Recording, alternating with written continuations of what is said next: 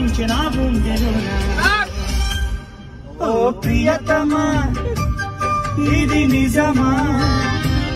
ఈ పరిచయం ఒక వరమా ఇది మనసు పడిన విరహ వేదన? తొలి ప్రేమలోని మధుర భావన